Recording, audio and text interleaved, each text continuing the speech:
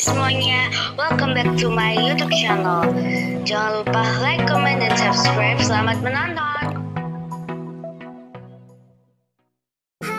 Marco Bezzecchi antusias sambut start MotoGP 2024 pekan ini. MotoGP 2024 akan start pada akhir pekan ini. Rider Frampton Racing Team Marco Bezzecchi mengaku sangat antusias menyambut musim baru di sirkuit Losail Qatar seri pertama MotoGP 2024. Rangkaian balapan akan digelar sejak Jumat 8 Maret 2024. Sprint race berlangsung hari Sabtu dan balapan utama berjalan hari Minggu.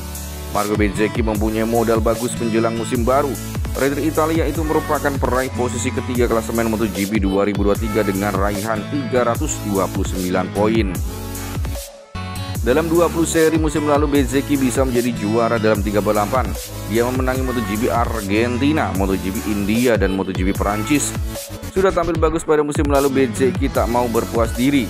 Dia ingin lebih baik lagi di MotoGP 2024. Saya sangat senang kembali ke track untuk balapan pertama musim ini.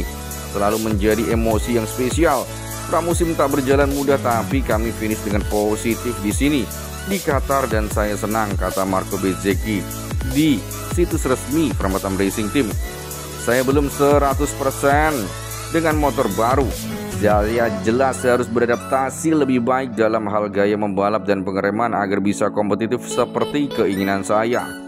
Saya antusias kami meninggalkan musim hebat di belakang kami dan tujuannya juga untuk tampil baik pada tahun ini, kata Marco Bezzecchi menambahkan. Atas dasar itulah Marco Bezzecchi yakin bisa kompetitif di MotoGP 2024 ini. Dengan Ducati Desmodici GP23 bersama tim Pertamina Enduro Permatam Racing. Marco Bezzecchi sangat bersemangat dan ingin menunjukkan bahwa dirinya layak sebagai penantang gelar juara dunia. Patut ditunggu aksi dari MotoGP Qatar 2024 dengan Marco Bezzecchi tentunya.